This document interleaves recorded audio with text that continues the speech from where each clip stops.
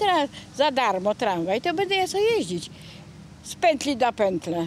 Pani Maria, emerytka z Winograd już cieszy się na myśl o sobocie, bo to właśnie wtedy, w końcu, bimby przejadą pierwszym ukończonym fragmentem trasy tramwajowej na Naramowice, choć mieszkańcy podkreślają, że powinny one jeździć tu już lata temu. Ten tramwaj już mógł być te 15 lat wcześniej, nie? Tylko za późno, nie? Ale jak wskazują inni poznaniacy, lepiej późno niż wcale. Jest to na pewno wielkie udogodnienie, żeby dojeżdżać właśnie z tej strony części miasta do centrum. Teraz będzie lepiej. Przyjdzie jesień, to sobie będę jeździć. Po co mam cho- chodzić po zimnie? Trójka będzie miała wydłużoną trasę. Kurs zacznie na Franowie, ale nie zakończy go na pętli Wilczak jak do tej pory. Jej trasa zostanie wydłużona o dwa przystanki serbską i włodarską. Spodziewamy się, że może więcej pasażerów, e, na co liczymy, i też poznaniaków, e, i nie tylko, mieszkańców aglomeracji przyjdzie sprawdzić, e, przejechać się pierwszym odcinkiem nowej trasy. Sobotę maszyny budowlane znikną z Włodarskiej, ale nie jest to jednak koniec inwestycji.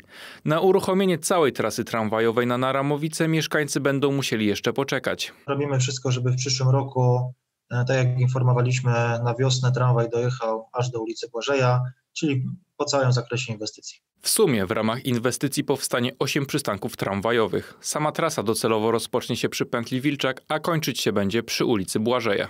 tuż za przystankiem e, Włodarska w stronę północną rozpoczyna się ten właściwy e, też najazd na przyszłe skrzyżowanie Lechicka-Naramowicka, które jest w tej chwili w trakcie budowy.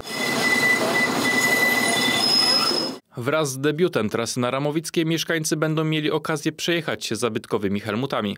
Tabor zasili specjalną linię tramwajową numer 33, która będzie kursować tylko w ten weekend. Ta linia e, będzie funkcjonowała od rynku Jeżyckiego przez most teatralny, Winogrady, właśnie do przystanku e, Włodarska. Budowa całej trasy tramwajowej na Naramowice ma kosztować w sumie 270 milionów złotych, a jej uruchomienie i jednocześnie koniec prac planowany jest na wiosnę 2022 roku. Trzeba jednak pamiętać, że zgodnie z planem na Włodarską mieliśmy dojechać wiosną tego roku.